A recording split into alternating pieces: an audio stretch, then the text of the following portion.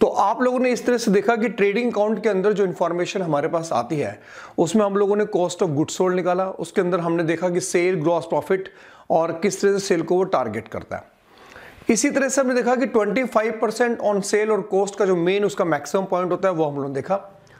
अब हम क्या करते हैं कि नेक्स्ट टारगेट लेते हैं कि एक प्रॉफिट एंड लॉस अकाउंट से हम लोग किस तरह की इंफॉर्मेशन निकाल लेते हैं। ध्यान से बढ़ेगा प्रॉफिट एंड लॉस अकाउंट से हम लोग किस तरह की इंफॉर्मेशन निकाल लेते हैं? देखिए, सबसे बड़ी प्रॉब्लम यह है कि प्रॉफिट एंड लॉस अकाउंट जो हम लोगों ने इलेवंथ क्लास में पढ़ा है और जिस तरीके से हम लोगों ने पढ़ा है, दरअसल वही हमारी प्रॉब्लम भी बन रही है ट्वेल्थ क्लास के अंदर। रीजन यह है कि ट्वेल्थ का स्टूडेंट ये कहता है कि, सर, मैंने इलेवंथ क्लास के अंदर प्रॉफिट एंड लॉस अकाउंट पढ़ा है और उसके अंदर दो फिगर मैंने पढ़ी है कि यहाँ पर ग्रॉस प्रॉफिट आता है। ग्रॉस प्रॉफिट ब्रोड डाउन और स्टूडेंट ये कहता है कि सर, इसके अंदर जो बैलेंसिंग फिगर से बचता है, वो यहाँ पर नेट प्रॉफिट आता है। और यहाँ पर हमारे पास सारे इनडायरेक्ट एक्सपेंसेस आते हैं, जो हम लोग शो करते हैं। ये हम लोग इलेवेंथ क्लास में पढ़ा है। और यहाँ पर हमारे पास सारी इनडायरेक्ट इनकम आती है। इनडायरेक्ट इनकम तो स्टूडेंट कहता है कि, सर, मुझे प्रॉफिट एंड लॉस अकाउंट की कंप्लीट नॉलेज है। और यही रेशियो एनालिसिस के अंदर सबसे बड़ी प्रॉब्लम बनती है, क्योंकि यहाँ पर एग्जामिनर जब पहला क्वेश्चन पूछता है व्हाट इज़ ऑपरेटिंग प्रॉफिट तो यहाँ स्टूडेंट के लिए एक ब्रेकिंग न्यूज़ बनती है कि ऑपरेटिंग प्रॉफिट होता क्या है, क्योंकि उसने या तो नाम सुना है ग्रॉस प्रॉफिट का, या फिर उसने नाम सुना है नेट प्रॉफिट का। वो ऑपरेटिंग प्रॉफिट वर्ड जानता ही नहीं बड़े ध्यान समझिएगा, बहुत माइनर सा पॉइंट है और आपको बड़ी जल्दी क्लियर हो जाएगा। दरअसल हमसे जो चीज़ इलेवंथ क्लास में छिपाई गई, या यूँ समझिए इलेवंथ क्लास में उसके ऊपर फोकस ही नहीं किया गया, वो क्या थी? वो पॉइंट ये था कि यहाँ पर जो इनडायरेक्ट एक्सपेंस हमें सिखाया गया, दरअसल इनडायरेक्ट एक्सपेंस भी दो तरह के होते हैं, मैं उन्हें लिखता हूँ। इनडायरेक्ट एक्सपेंस में जो पहला एक्सपेंस बताया गया, वो ये बताया था है कि बिज़नेस एक्सपेंस जो खर्चे हमारे बिज़नेस के हैं, वो अलग होते हैं डायरेक्ट और कुछ ऐसे भी खर्चे होते हैं जिनको हम बोलते हैं नॉन बिज़नेस एक्सपेंस ऐसे खर्चे जो हमारे बिज़नेस के नहीं होते this is called non business expense ये बात इलेवेंथ क्लास में हमें क्लियर ही नहीं की गई। हालाँकि ट्वेल्थ में बच्चों को थोड़ा शॉकिंग लगता है कि ये मैंने कभी पढ़ा ही नहीं कि बिज़नेस इनडायरेक्ट एक्सपेंस वर्ड तो उसने पढ़ा है। और इनडायरेक्ट एक्सपेंस के बारे में ये पढ़ाया गया कि जो खर्चे ट्रेडिंग में डायरेक्ट नहीं होते, वो सारे इनडायरेक्ट होते हैं। वो बात क्लियर है। लेकिन इनडायरेक्ट एक्सपेंस भी दो तरह के जो हम पीएनएल में दिखाते हैं। एक बिज़नेस एक्सपेंस जो हमारे बिज़नेस से रिलेटेड है। एक नॉन बिज़नेस एक्सपेंस जो हमारे बिज़नेस से रिलेटेड नहीं है। अब पहले ध्यान समझिए बिज़नेस एक्सपेंस को ही हमारे यहाँ ऑपरेटिंग एक्सपेंस भी कहते हैं। ऑपरेटिंग एक्सपेंस और नॉन बिज़नेस एक्सपेंस को हमारे यहाँ नॉन ऑपरेटिंग एक्सपेंस भी कहते हैं। नॉन ऑपरेटिंग एक्सपेंसेस ये बात समझिए। और ये जो इनडायरेक्ट इनकम है, इसको हम लोग बोलते हैं नॉन बिज़नेस इनकम ये कुछ वर्ड आप अपनी डिक्शनरी में डालिए तो थोड़ा सा पढ़ना आपके लिए इजी हो जाएगा। Non business income non business income को ही हमारे यहाँ नॉन ऑपरेटिंग इनकम भी कहते हैं। ये कुछ ऐसे वर्ड हैं जो आप लोगों ने इलेवेंथ क्लास में नहीं सुने होंगे, इसलिए थोड़ा सा परेशानी बढ़ती भी है। तो पहले अगर आप रेशियो एनालिसिस चैप्टर पढ़ रहे हैं तो प्रॉफिट एंड लॉस काउंट की पहले नॉलेज रखिए। तो पीएनएल के बारे में बेटे आपने क्या सीखा? कि इधर आता है ग्रॉस प्रॉफिट ग्रॉस प्रॉफिट के इधर क्या आती है? इनडायरेक्ट इनकम इनडायरेक्ट इनकम के दो नाम समझिए। ये एक इसको नॉन बिज़नेस इनकम भी कहते हैं या नॉन ऑपरेटिंग इनकम हालाँकि स्टूडेंट एक बात कहता है कि सर मुझे बताओ नॉन बिज़नेस इनकम अगर ये है तो बिज़नेस इनकम क्या होती है? इनकी ऑपरेटिंग इनकम क्या होती है? वाइवा में क्वेश्चन आपसे पूछा जा सकता है। तो आप सीधा बोलिए कि सेल जो है, वो हमारे बिज़नेस की ऑपरेटिंग इनकम होती है। सेल हमारे बिज़नेस की डायरेक्ट इनकम होती है। सेल के अलावा सारी इनकम जो हमारी क्या मानी जाती है? नॉन बिज़नेस इनकम ऐसी इनडायरेक्ट एक्सपेंस हालाँकि इनडायरेक्ट एक्सपेंस के बारे में दो तरह के खर्चे बांटे गए एक बिज़नेस एक्सपेंस दो आर रिलेटेड ओवर बिज़नेस एक indirect expense non business expense जिसको हम नॉन ऑपरेटिंग एक्सपेंस भी कहते हैं। और इसके बाद यहाँ पर, इस अकाउंट को क्लोज करने के बाद जो बच जाता है, उसको हम लोग बोलते हैं नेट प्रॉफिट देखिए, ये है प्रॉफिट एंड लॉस अकाउंट अब समझना यह है कि इसको पढ़ने में प्रॉब्लम क्या है। इस अकाउंट के अंदर ऐसा क्या है, जिसके बारे में हमें नहीं पता। देखिए स्टूडेंट ये कहता है कि सर मुझे ये कैसे पता चलेगा ये कौन से बिज़नेस के एक्सपेंस हैं और कौन से नॉन बिज़नेस एक्सपेंस है जो मेरे बिज़नेस के नहीं हैं? कौन सी ऐसी इनकम है जो मेरे बिज़नेस की नहीं मानी जाती? मुझे एक बार ही थोड़ा सा क्लियर कर दो। देखिए, बड़ा आसान है। आप बस ये समझ लीजिए कि non business expense twelfth class के लेवल पे पढ़ा रहा हूँ। ऐसा मत समझिए कि कोई कई टीचर्स भी मेरी वीडियो देखते हैं तो इस बात को देख के ज़रूर कहते हैं कि, सर, आपने बच्चों को सिर्फ़ इतने ही और भी बहुत सारे नॉन बिज़नेस एक्सपेंस हो सकते हैं। मैं सिर्फ़ ट्वेल्थ लेवल की बात कर रहा हूँ। ग्रेजुएशन लेवल पे, फिर आईपीसीसी लेवल पे इनका एरिया बढ़ जाता है। ट्वेल्थ लेवल पे मैं सिर्फ़ बच्चों को ये पढ़ाता हूँ कि चार एक्सपेंस ही नॉन बिज़नेस एक्सपेंस होते हैं। आप चार एक्सपेंसेस के नाम रट लो, इसके अलावा जितने भी एक्सपेंस होंगे, सारे बिज़नेस एक्सपेंस माने जाएँगे। सिर्फ़ चार नाम रट लो आप। जरा देखिए वो चार नाम कौन कौन से हैं। पहला लिखिए आप loss on sale of fixed assets loss on sale of fixed assets oblique investment अगर आपने कोई इन्वेस्टमेंट बेची है, या आपने कोई फिक्स सेट्स बेची है, उसके ऊपर अगर आपको लॉस हुआ है तो ये हमारे बिज़नेस का एक्सपेंस नहीं है। दूसरा देखिए आप, दूसरा कौन सा है? सेकेंड वन इज़ कह रहे सर सेकेंड लिखिए गुडविल रिटर्न ऑफ़ ये नाम काफ़ी फ़ेमस है, इसलिए मैं आपको लिखवा रहा हूँ। गुडविल रिटर्न ऑफ़ लेकिन इससे सेटिस्फाइड नहीं हो सकते। Comma intangible assets written off जितनी भी इंटेंजिबल एसेट्स हैं, वो राइट ऑफ़ होती हैं अगर। रिटर्न ऑफ़ का मतलब सिर्फ़ इतना होता है कि उनकी वैल्यू पहले से कम हो गई है। अगर एक लाख की गुडविल थी, वो अस्सी हज़ार रुपए की हो गई तो बीस हज़ार रुपए की गुडविल हमारी कम हो गई। ट्वेंटी थाउज़ेंड को रिटर्न ऑफ़ बोलते हैं। लेकिन सिर्फ़ गुडविल रिटर्न ऑफ़ होने से काम नहीं चलेगा।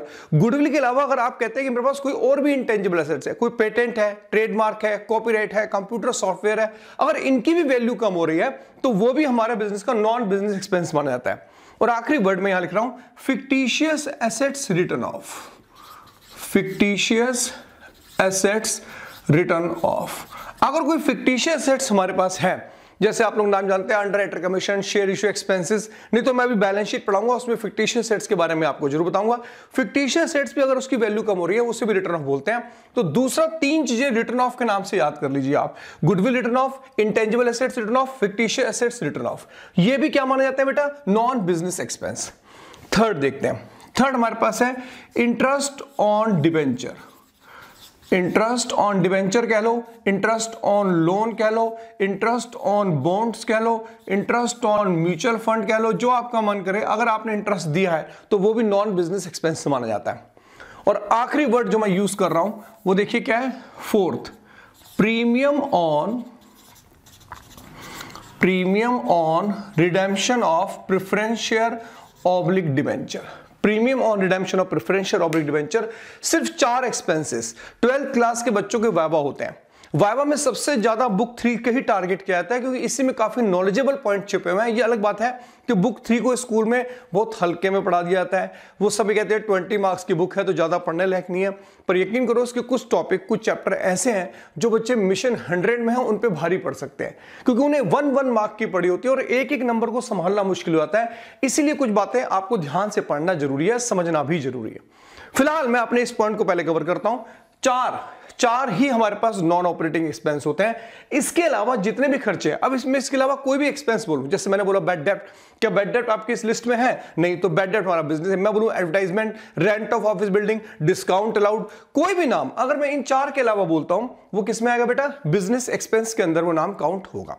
डन तो कुल मिला के बात ये हुई कि मुझे यह पता चला कि हाँ ये एक तरीका है। डन अब हम इसको रब कर रहे हैं। ध्यान समझिएगा, इसको अब मैं रब कर रहा हूँ ताकि मुझे समझ में आ गया कि चार के अलावा बाकी सारे बिज़नेस एक्सपेंस होते हैं। अब हम यहाँ पे बात करते हैं, हटा दिया इसको हमने। हटाने के बाद, अब एक बार जरा यहाँ भी टारगेट करते हैं। यहाँ पर भी टारगेट करते हैं कि नॉन बिज़नेस इनकम के कुछ एग्जांपल वैसे मैं साफ़ बोल चुका हूँ कि सेल के अलावा जो भी इनकम होती है, वो नॉन बिज़नेस इनकम ही होती है। फिर भी कुछ नाम यहाँ लिखते हैं, जैसे फ़र्स्ट जैसे आप कहते हैं profit on sale of assets profit on sale of fixed assets oblique investment जैसे ये नाम आपके पास आ रहा है। नेक्स्ट जैसे हमने लिखा कि डिविडेंट रिसीव नेक्स्ट जैसे हमने लिखा कि रेंट रिसीव जैसे हमने लिखा कमीशन रिसीव एक्सेट्रा मतलब मेरे कहने का मतलब यह कि जो चीज़ आप पी एंड एल अकाउंट के अंदर क्रेडिट कर रहे हैं वो हमारी नॉन बिज़नेस इनकम ही काउंट की जाती है मोस्टली अब समझने वाली बात क्या है? कि अब हमें यह पता है कि एक ग्रॉस प्रॉफिट होता है। ये कहाँ से आता है? ट्रेडिंग अकाउंट से, हम जानते हैं। फिर नॉन बिज़नेस इनकम ये नॉन बिज़नेस इनकम है, हम जानते हैं। इनडायरेक्ट एक्सपेंसेस दो तरह के होते हैं रिलेटेड टू बिज़नेस और नॉट रिलेटेड टू बिज़नेस इसको हम लोग ऑपरेटिंग एक्सपेंस या नॉन ऑपरेटिंग एक्सपेंस भी कहते हैं। अब ये एक पीएनएल है, और इसको अगर हम क्लोज कर दें तो हमारे पास निकल आता है नेट प्रॉफिट आप थोड़ी देर के लिए समझिए कि पहले हमने पीएनएल की नॉलेज ली। ग्रॉस प्रॉफिट मान लीजिए मेरे पास 500 है। नॉन बिज़नेस इनकम मान लीजिए मेरे पास 100 है। तो इधर का टोटल मेरे पास आता है 600 सिमिलरली इधर का टोटल हमारे पास आता है 600 आना चाहिए। पर हमारे पास बिज़नेस के जो एक्सपेंस है, वो हमने किए हैं 200 और हमने यहाँ पर जो नॉन बिज़नेस एक्सपेंस किए हैं, वो किए हैं 150 तो हमारे पास नेट प्रॉफिट देखो कितना बनता है। 350 250 का हमारे पास ये नेट प्रॉफिट आ जाता है ये मान के चलो कि एक पीएनएल अकाउंट है। अब सवाल ये उठता है, इससे इंफॉर्मेशन क्या निकलती है? देखिए बड़े ध्यान से। दो वर्ड है, एक ग्रॉस प्रॉफिट वो आप समझते हैं नेट प्रॉफिट आप समझते हैं। एग्जामिनर आपसे जब ये पूछता है व्हाट इज़ ऑपरेटिंग प्रॉफिट अब स्टूडेंट कंफ्यूज होता है। तो मैं उसे कहता हूँ, देख ऑपरेटिंग का मतलब होता है बिज़नेस और एग्जामिनर सिर्फ़ तेरे से कह रहा है कि बिज़नेस का प्रॉफिट कितना है। तो आप ये बताओ, इसके अंदर, इस पीरियड के अंदर बिज़नेस रिलेटेड क्या है? ये नॉन बिज़नेस एक्सपेंस है, ये नॉन बिज़नेस इनकम है। अगर आप इन्हें हटा दो, इसे भी हटा दो और इसे भी हटा दो तो जो प्रॉफिट निकलेगा वो ऑपरेटिंग प्रॉफिट होगा। मतलब मैं समझाता हूँ। देखिए इधर ध्यान से। आपके पास ऑपरेटिंग प्रॉफिट निकालने के लिए एक रास्ता ये था। ऑपरेटिंग प्रॉफिट इक्वल टू आपके पास ग्रॉस प्रॉफिट था? आपने कहा यस ग्रॉस प्रॉफिट में से आप माइनस कर दीजिए बिज़नेस के एक्सपेंस बताओ बिज़नेस के एक्सपेंस मेरे एग्जांपल में दो सौ रुपए का ग्रॉस प्रॉफिट कितना है? पाँच सौ. तो पाँच सौ रुपए में से आप दो सौ रुपए माइनस कर दो तो तीन सौ रुपए आपके पास ऑपरेटिंग प्रॉफिट आता है. ये ऑपरेटिंग प्रॉफिट है, यानी कि बिज़नेस का प्रॉफिट लेकिन जैसा कि मैंने कहा कि ट्रेडिंग अकाउंट पढ़ाते समय भी कहा था कि हर चीज़ के दो फॉर्मूले होते हैं। यानी कि एक फॉर्मूला तो ये आपके सामने लिखा है कि operating profit equal to gross profit minus business expense अब स्टूडेंट पूछेगा कि बिज़नेस एक्सपेंस कौन से होते हैं? तो उसे समझाओ कि बिज़नेस एक्सपेंस सिर्फ़ चार को छोड़ के बाकी सारे बिज़नेस एक्सपेंस माने जाते हैं। वो चार को नॉन ऑपरेटिंग एक्सपेंस आपको रटने पड़े। एक दूसरा रास्ता समझते हैं क्या है? दूसरा रास्ता ये कहता है कि आप इनडायरेक्ट मेथड यानी कि ऑपरेटिंग प्रॉफिट निकालने के लिए ये भी काम कर सकते थे। Net profit plus non operating expense minus non operating income देखिए, मेरे एग्जांपल में नेट प्रॉफिट कितना है? 250 आपने यहाँ लिखा 250 नॉन ऑपरेटिंग एक्सपेंस कितने के हैं? 150 मैंने यहाँ लिखा 150 नॉन ऑपरेटिंग इनकम कितनी की है आपके पास? 100 मैंने यहाँ पे कहा 100 इसमें से माइनस कर दिया। अगर हम इसको सॉल्व करें तो फिगर ऑपरेटिंग प्रॉफिट की 300 ही आती है। ऑपरेटिंग प्रॉफिट के दोनों फॉर्मूले याद करना क्यों ज़रूरी है? साफ़ सी वजह है। दोनों फॉर्मूले याद करना इसलिए ज़रूरी है कि एग्जामिनर हो सकता है डाटा आपको ये वाला दे दे और हो सकता है डाटा आपको ये वाला दे दे क्योंकि एग्जामिनर आपको पीएनएल अकाउंट बना के नहीं देगा। जिस समय वो आपसे ऑपरेटिंग प्रॉफिट रेशियो पूछेगा वो आपको ऑपरेटिंग प्रॉफिट का ही डाटा देगा। एनीवे anyway, फ़िलहाल क्या समझ में आया? हमें यह समझ में आया कि ग्रॉस प्रॉफिट क्या होता है? हमें मालूम है नेट प्रॉफिट क्या होता है? हमें मालूम है। एक नया वर्ड हमारी डिक्शनरी में आज ज़रूर आ गया है और उसका नाम हमारे पास क्या है? ऑपरेटिंग प्रॉफिट जरा एक बार ऑपरेटिंग प्रॉफिट के फॉर्मुला लिखते हैं ध्यान से। ऑपरेटिंग प्रॉफिट का एक फॉर्मूला हमने ये पढ़ा कि gross profit minus operating expense operating expense को हम लोग बिज़नेस एक्सपेंस भी कहते हैं। हालाँकि इसको ध्यान से पढ़ें कि ग्रॉस प्रॉफिट का अपना एक फॉर्मूला होता है। क्या? कि सेल में से अगर आप cost of good sold minus कर दो तो आपके पास ग्रॉस प्रॉफिट आता है। इसमें से माइनस ऑपरेटिंग एक्सपेंस अगर आप कर दो तो आपके पास एक और फॉर्मूला तैयार होता है ऑपरेटिंग प्रॉफिट ऑपरेटिंग प्रॉफिट का एक इनडायरेक्ट मेथड दूसरा फॉर्मूला भी हम लोगों ने देखा, और वो फॉर्मूला था operating profit equal to net profit plus non operating expense minus non operating income operating profit की थोड़ी सी नॉलेज रखिए। बहुत इंपॉर्टेंट रेशो है। अगर एग्जामिनर वाइवा में पूछ ले तो बहुत अच्छी बात, वरना मेन बोर्ड में तो वो इसके पीछे पड़ता ही है। ऑपरेटिंग हमारा पीछा कभी नहीं छोड़ता। एक बार इसे ध्यान रखिए। दूसरी एक और चीज़। एक नया वर्ड आज अपनी डिक्शनरी में और डालिए this is called operating cost operating cost का फॉर्मुला लिखते हैं direct cost of good sold plus operating expenses देखिए, एक क्वेश्चन बार बार रेज हो रहा है। कि ऑपरेटिंग एक्सपेंस कौन से होते हैं ये बच्चों को नहीं पता होता। सिर्फ़ चार रख लीजिए, चार नॉन ऑपरेटिंग एक्सपेंस होते हैं, उसके अलावा जितने भी एक्सपेंस होते हैं, सारे हमारे पास ऑपरेटिंग एक्सपेंस में काउंट होते हैं। कॉस्ट ऑफ़ गुड सोल्ड का मीनिंग आपको क्लियर है ऑपरेटिंग एक्सपेंस का मीनिंग आपको क्लियर है। लेकिन अभी भी मैं ये कहूँगा कि रेशियो एनालिसिस चैप्टर के लिए हमने रेशियो स्टार्ट नहीं किया, लेकिन रेशियो पढ़ने से पहले हम ट्रेडिंग अकाउंट को समझ रहे थे कि ट्रेडिंग अकाउंट में क्या क्या होता है। फिर हमने सीखा कि पीएनएल अकाउंट में क्या होता है। और अब हमारे पास लास्ट बचा है कि एक बैलेंस शीट की अंडरस्टैंडिंग लेने के लिए क्या होता है। जब तक एक बैलेंस शीट की अंडरस्टैंडिंग आप नहीं लोगे, तब तक रेशो चैप्टर स्टार्ट करना ही पागल बनती है। ये यूँ समझो कि जो उसकी सबसे इंपॉर्टेंट रेशो है सोलवेंसी रेशो उसे सॉल्व करने में सबसे ज़्यादा ज़रूरत पड़ती है। बैलेंस शीट की नॉलेज होनी चाहिए। मैं फिर यहाँ पर एक बात बोल रहा हूँ। बैलेंस शीट बनाना रेशियो चैप्टर के लिए कोई बहुत इंपॉर्टेंट पार्ट नहीं है। बैलेंस शीट पढ़ना बैलेंस शीट को समझना एक बैलेंस शीट से कैसे अकाउंटिंग इंफॉर्मेशन निकल सकती है इस बात को जजमेंट में लेना ये मोस्ट इंपॉर्टेंट है। अगर आप लोगों को बैलेंस शीट पढ़ना नहीं आता तो आप रेशियो एनालिसिस चैप्टर के अंदर थोड़े से कहीं कई फॉर्मुले ऐसे कहीं जगह एग्जामिनर ऐसी मिसिंग फिगर डाल देगा कि उनको फाइंड आउट करना आपके लिए इंपॉसिबल हो जाएगा। एनी anyway, फिर भी तो नेक्स्ट वीडियो के अंदर मैं एक बार तसल्ली से बैलेंस शीट पे पहले बात करूँगा और उसके बाद मैं आपको एक एक करके सभी रेशो के निमेकल सोल्व कराऊँगा। Till then thank you friends